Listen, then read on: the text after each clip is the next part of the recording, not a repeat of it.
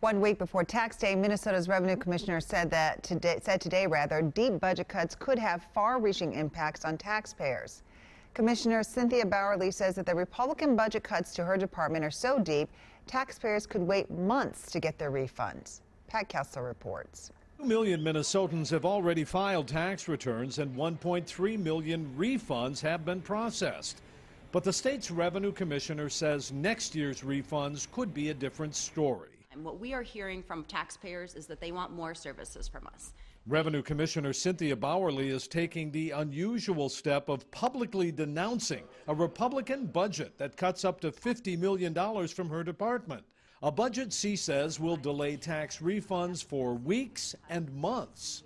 People are going to wait months and months for refunds. That's what will happen if we get these kinds of cuts. Republicans are cutting what they say is a bloated revenue department back to 2014 15 levels. And top Republican Sarah Anderson says of Bauerly's dire predictions, they are sky is falling rhetoric aimed at protecting state bureaucracy. Bauerly predicts layoffs up to 200 workers, a slowdown for e filers, and a drop in service for Minnesota taxpayers. I think what we don't want to have happen in Minnesota is what's happened at the federal level, where the IRS has, you know, hours and hour long wait times for anybody to be able to get to a customer service representative or get information from them. Pat Kessler, WCCO 4 News.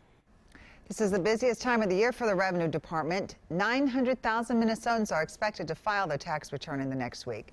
The tax deadline is April 18th.